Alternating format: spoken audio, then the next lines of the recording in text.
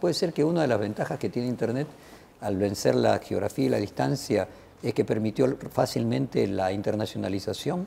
Sí, sí, porque a ver, nosotros somos líderes en Brasil, somos líderes en México, somos líderes en Colombia, en Chile, en todos los países de América Latina donde operamos. Nosotros lo podías hacer no, así. no conocemos a nadie. Yo, bueno, ahora obviamente tengo relaciones con empresarios y, y demás en, en, muchos lugares de América Latina, pero sigo siendo un desconocido. Eh, no teníamos ventajas competitivas para ganarle a los a los hijos de los grandes empresarios brasileños y mexicanos y colombianos y Mientras que si vos te dedicas a otra actividad, a bancos, a autos, a, hay jugadores en, establecidos, establecidos que no, penetrar hubiera sido muy difícil, muy hubiera difícil. llevado muchos años. Exactamente, mucho más difícil. En ese sentido, Internet fue mucho más meritocrático. Este, también hay una cosa que quiero, quiero destacar porque es importante y creo que sirve como ejemplo, y vos me preguntabas antes, ¿qué sería bueno que haga el presidente electo Hernández? Eh, el sector del software en Argentina se generó la ley del software en el 2004 que la, la, la aprobó Néstor Kirchner. Néstor Kirchner con la baña de ministro de Economía. Esa ley fue del 2004 al 2014, que lo que hace es reduce el impuesto a las ganancias y eh, cargas sociales, cargas, cargas sí, laborales, te baja el costo de, de tener empleados no te da subsidios. Es decir, si vos sos una empresa ineficiente, no tenés ningún beneficio. Solamente tenés beneficios. Si ganás dinero, que pagás menos impuestos a ganancias, y si contratás mucha gente, que pagás menos por los empleados. Eh, en el 2014, cuando vence el gobierno de Cristina Kirchner, la renovó. Eh, en el 2019 que venció, la renovó por cinco años. En el 2019 que venció, el gobierno de, de Mauricio Macri no solamente la renovó, sino que lo amplió a todo lo que se llama el sector del conocimiento. La hizo muchísimo más amplia.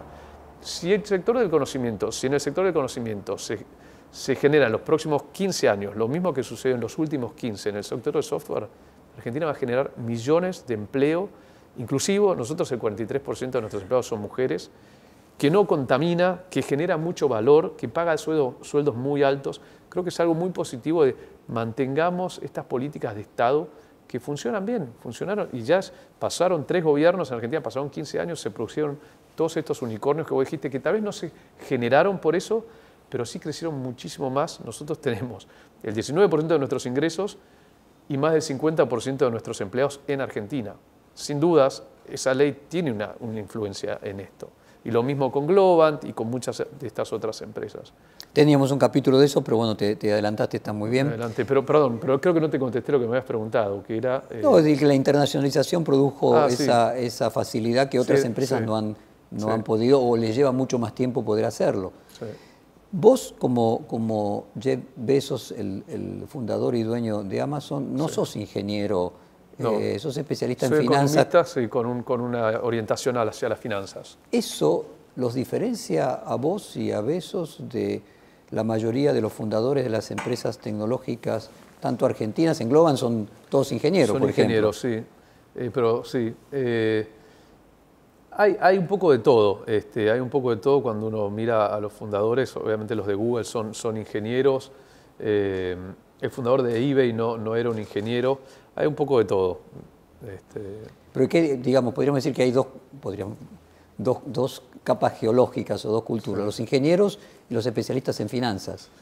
Eh, yo creo que, digamos, lo que funcionó muy bien en Silicon Valley, y yo creo que tengo también algunas de esas características, es gente a la que le guste mucho la tecnología, pero que entienda, tenga la capacidad de proyectar eh, hacia dónde va a moverse el mundo y qué productos y qué servicios van a ser útiles. A ver, para sintetizarlo, es una combinación de Silicon Valley con Wall Street, que te permitió a vos durante siete años perder plata porque Exacto. tenías la forma de financiarla. Es exactamente eso. Yo muchas veces eh, sufrí no ser un desarrollador porque quería desarrollar y no sabía cómo hacerlo, entonces tenía que depender de otros.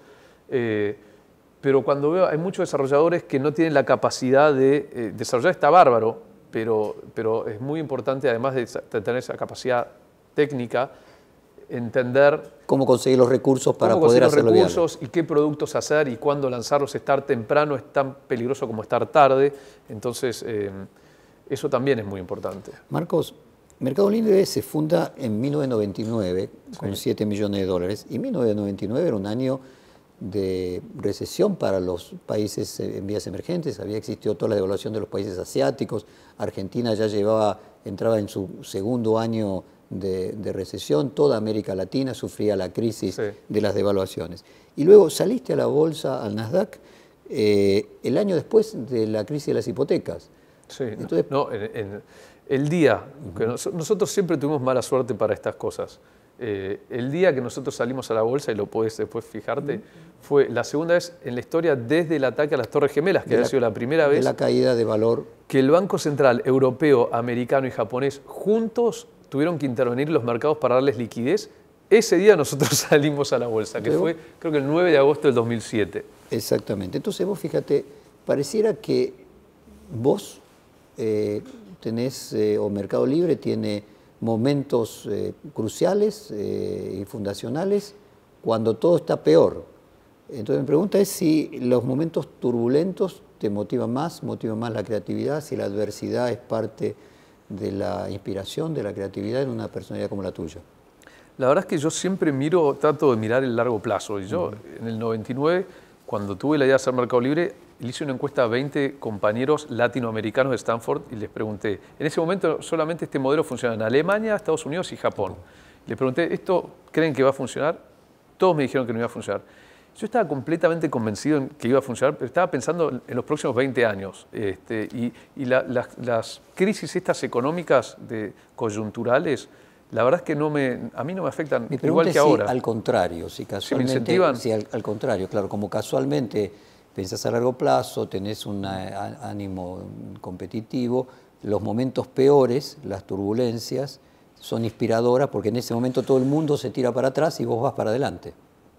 Puede ser, puede ser. Nosotros eh, nos ha sucedido en nuestra historia eh, que, las grandes crisis nos ayudaron porque nuestros competidores gastaron todos sus recursos en las buenas y después cuando venían las malas no tenían nada y nosotros en las buenas estábamos enfocados en, nuestro producto, en trabajar en, los desarrollos, en los ingenieros y cuando venían las malas que nadie tenía capital nosotros teníamos toda la plata en el banco y podíamos invertir y, y acelerar, digamos.